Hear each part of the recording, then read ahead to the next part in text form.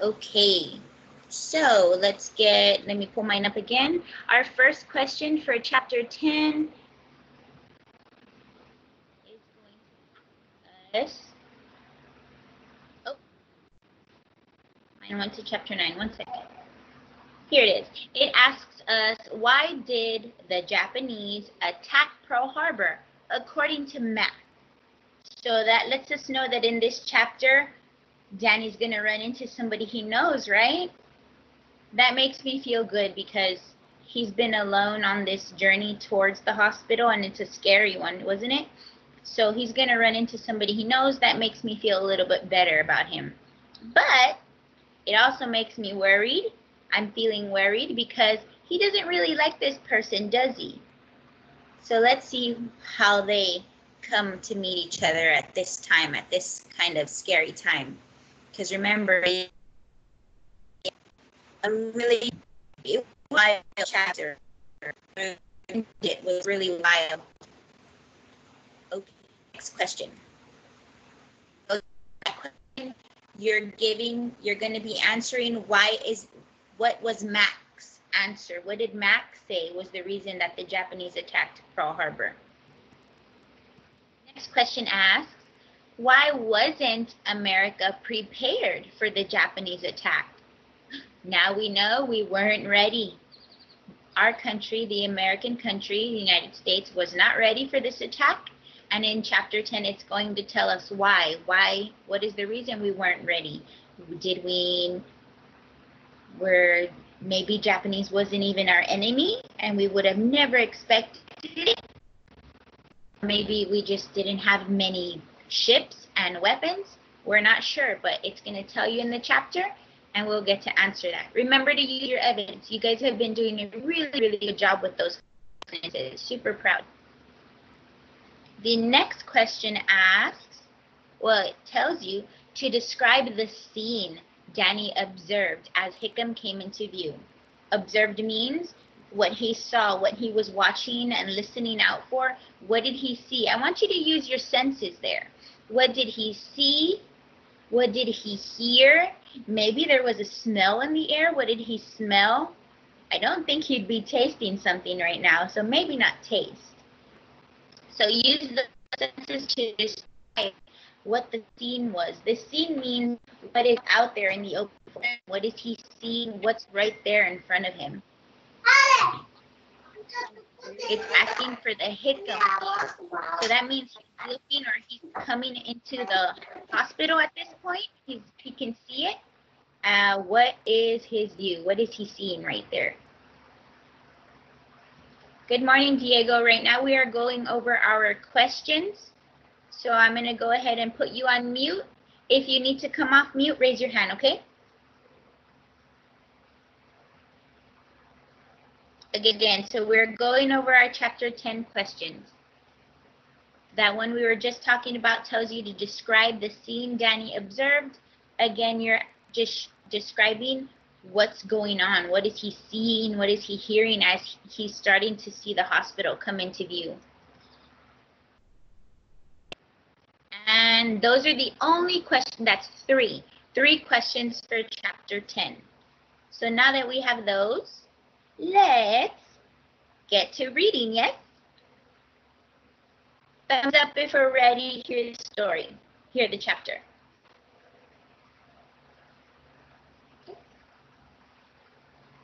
All right, we're going to hear chapter 10 now. Before we go into chapter 10, let me remind you what happened right at the end of chapter 9. So remember, chapter 9 was kind of wild, right? And at the very end of chapter 9, it said that right behind Danny was a giant, enormous explosion. And it was so big, it's, Danny felt like if the floor just bursted up. So that probably means he got thrown. That's crazy. He was thrown so hard, the explosion was so hard, he smashed his head into the sand. And then he couldn't see anything at all. I'm going to raise my hand real quick because right there, he couldn't see anything at all. I'm going to be honest. When I finished reading that last time, I was scared. Why can't he see? What happened to him? Who else felt that way? Right? I'm really worried. So let's jump right into chapter 10 to see if he's okay. Chapter 10, 8:45 a.m. So all of this happened really early, right? Let's start. Danny wasn't dead. Oh, thank goodness, right? Danny wasn't dead. His head felt like it had been split into two. His hands and knees throbbed. So what that means is, you know, if you fall down and like you still feel it, that's what's happening. He was he fell. He was thrown so hard. He fell face forward, face into the sand, right? And his hands and knees are throbbing from how hard he fell. His mind swirled. It's probably really dizzy right now. His mouth was filled with sand and blood. He'd bitten his tongue. His ears were ringing, but he was all in one piece. He had no idea how much time had passed since that plane appeared. The plane was gone now. The attack seemed to be over. As his mind cleared, he managed to sit up. Over the harbor, one of the battleships was a ball of fire. That was the huge explosion. An entire battleship had been blown apart.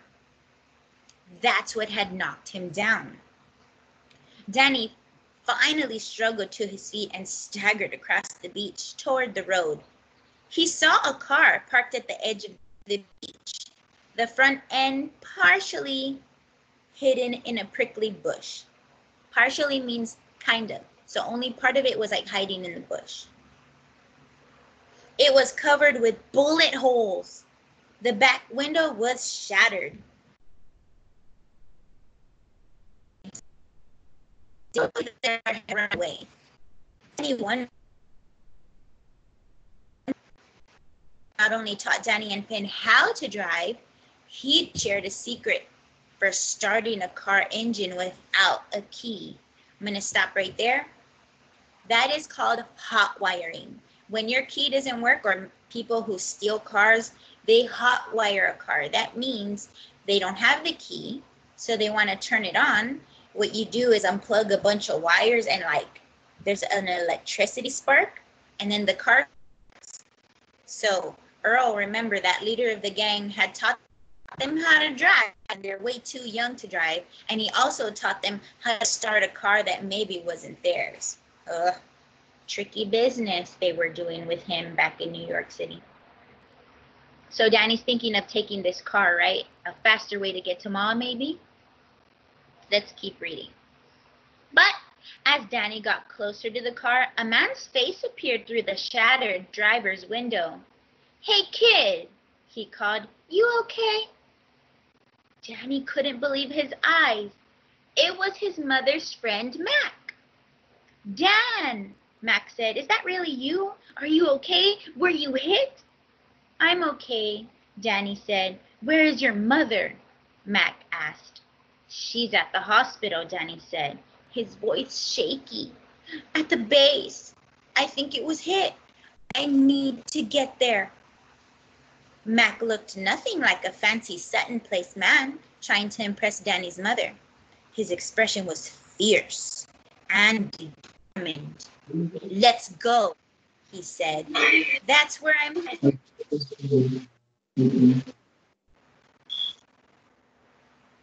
Let's go, he said. That's where I'm heading. You come with me. We'll find her. When Danny got into the car, he noticed blood splattered on the doors. Mac's arm was bleeding really badly. You're hurt, Danny said. Mac glanced at his arm. I got grazed by a bullet. I've had worse. So to him, these shots on his arm that are bleeding really badly, they're nothing. He's fine. He's had worse. Remember, he's in the army. He pulled the car up onto the road and they drove off. They caught us by surprise, Mac said. The Japanese blindsided us. The word blindsided mean it came out of nowhere. So he's describing the the Japanese attack as super unexpected. It came out of nowhere.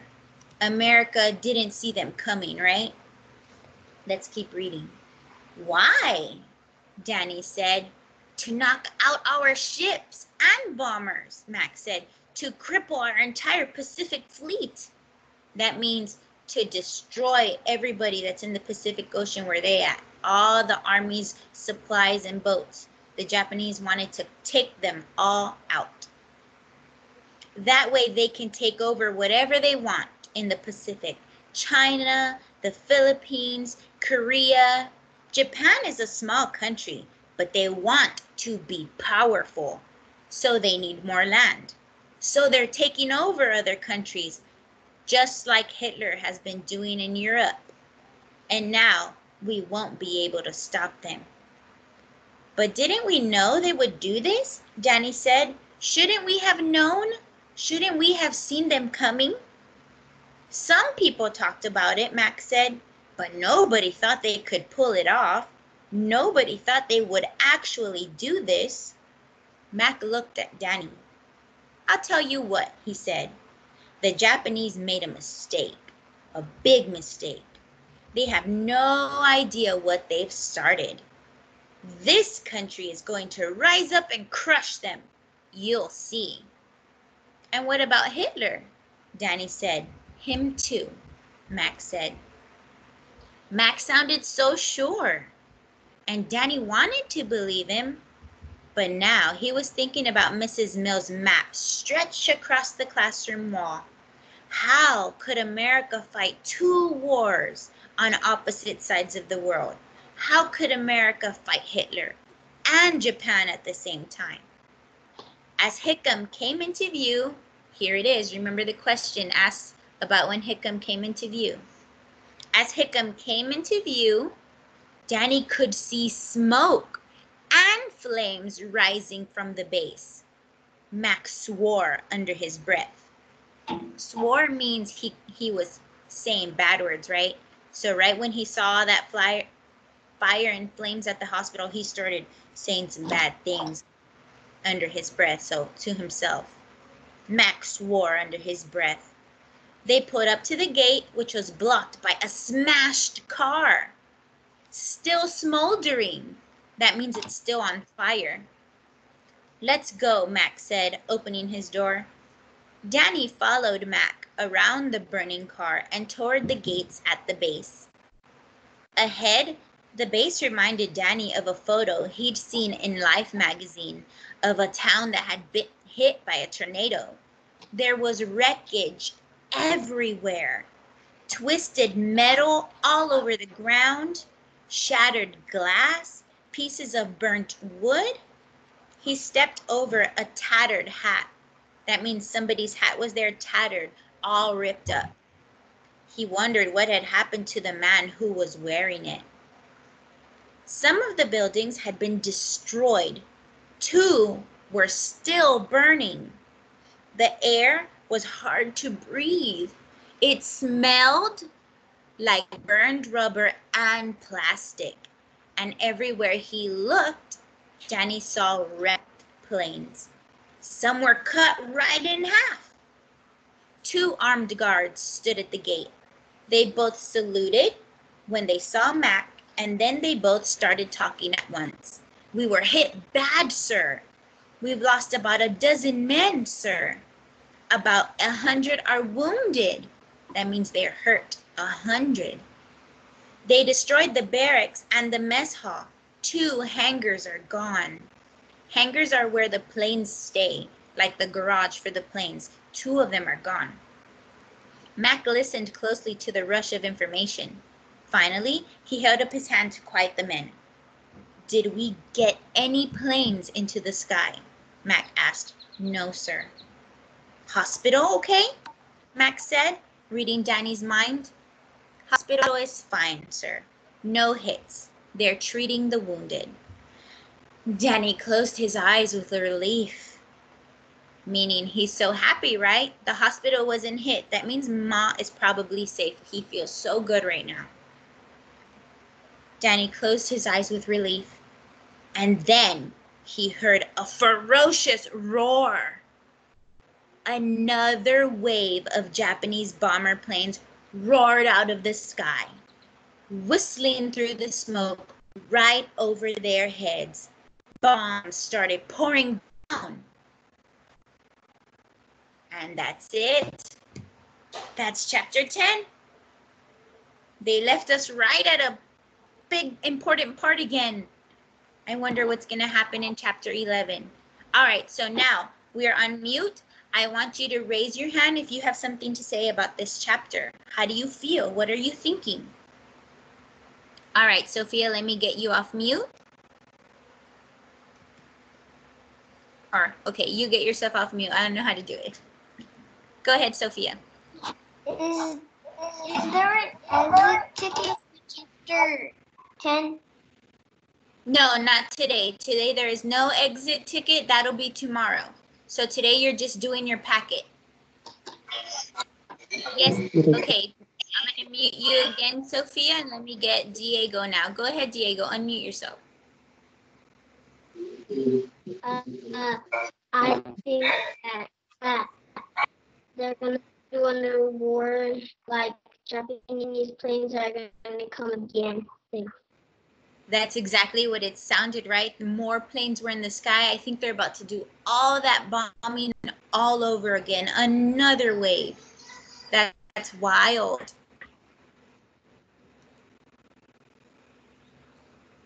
Any anybody else with a question or something to say about the chapter?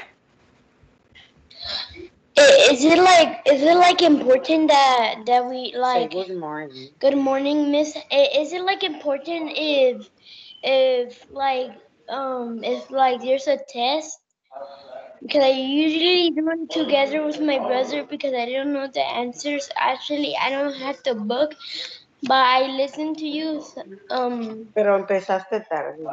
yeah and I but I by paying attention um late so it's Yeah, kind that's of like. Um, I recorded I recorded all the reading from the beginning. So once we hang up here later, it's gonna save. And if you want to watch it again from the beginning, it'll be there. It'll save. Thank you, Miss. You're welcome. Good morning.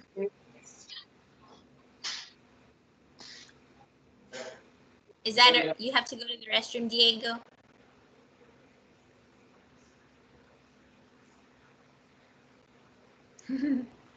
okay, so if you if you were paying close attention, they it the chapter told us exact. Go ahead, Diego. You're fine.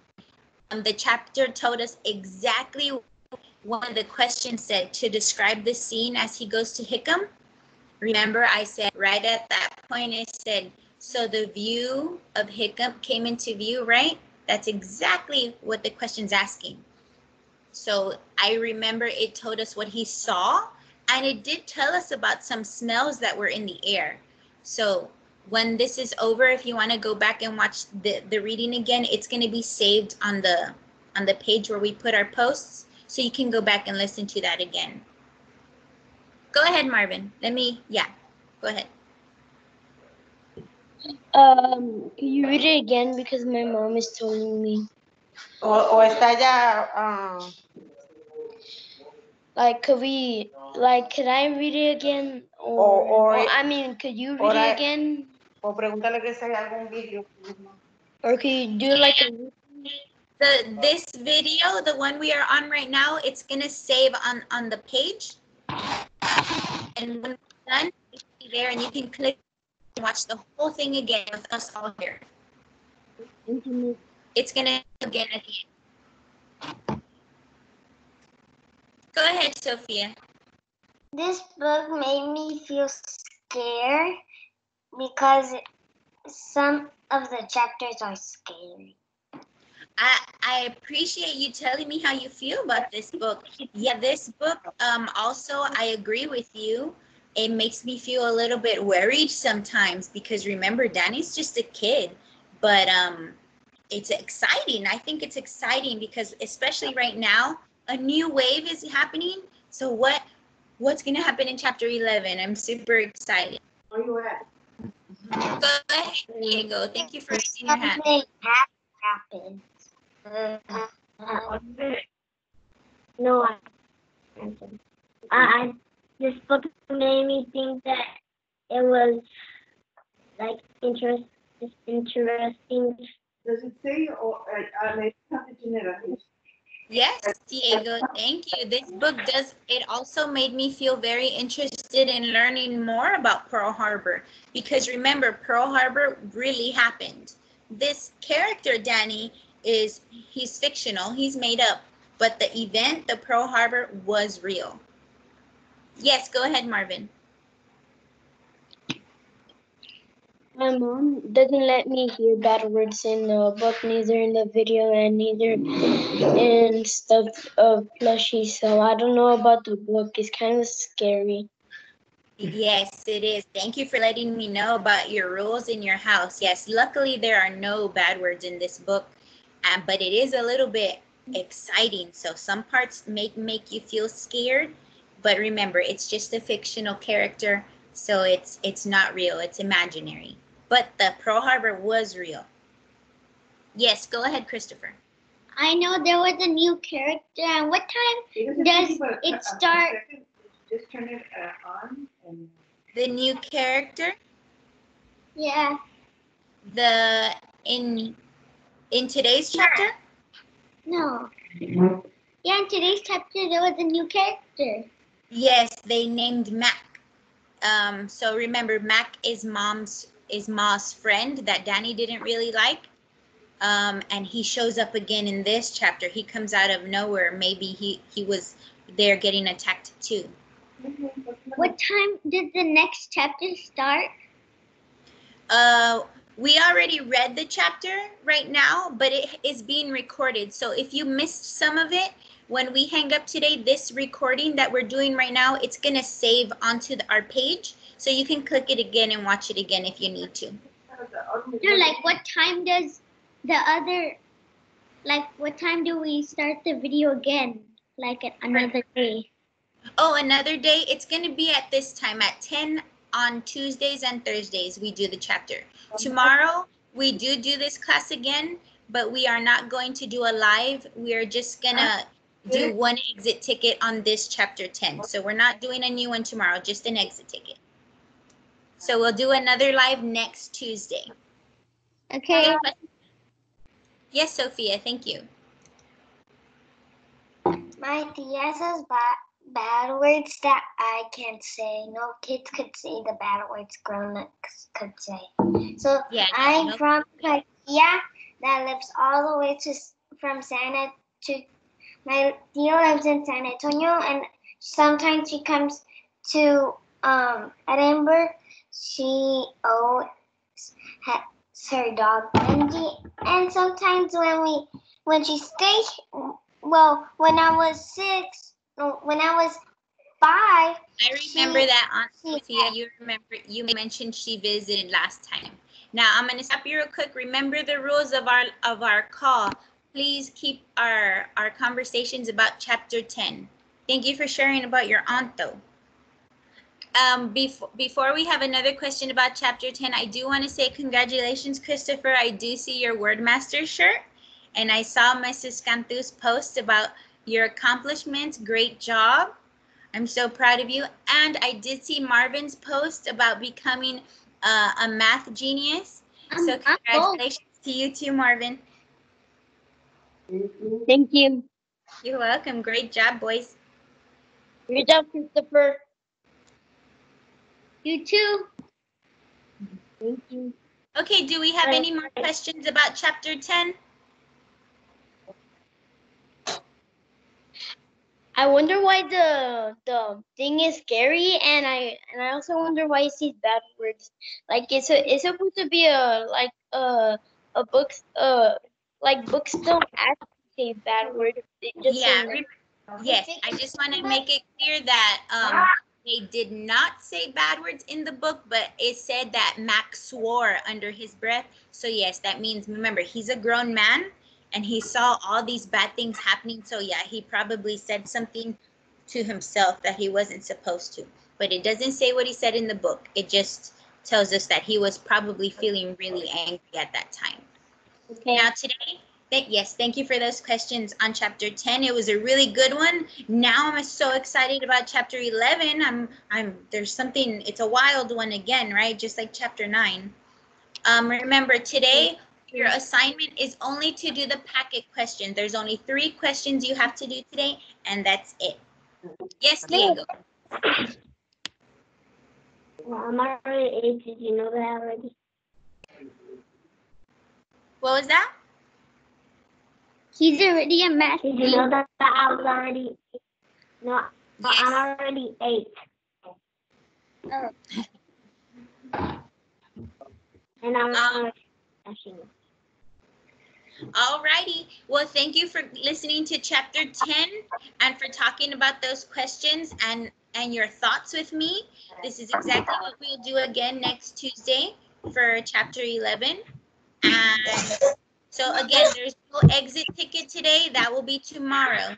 Today you're just doing those three packet questions in complete sentences with evidence. You're doing a really good job of that so far. So we can go ahead and end the call now. One big internet high five before we go. Everybody high five. High five. Big internet high five. Miss, Right. Miss. Okay, so go ahead. We're gonna end the call now. I need you to press the hang up button or else you're gonna be on by yourself. Miss. Bye. Miss. bye. Bye bye. Miss.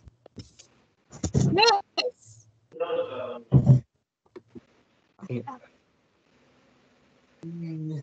Ching chong. I want to show you my uh, pictures I drew when I first got this. So I'm very good at drawing um tails. Press the the red hang up button. You'll you'll be on by yourself. Press the red hang up button. Okay. See you. Hi Nick. Hi. there you go.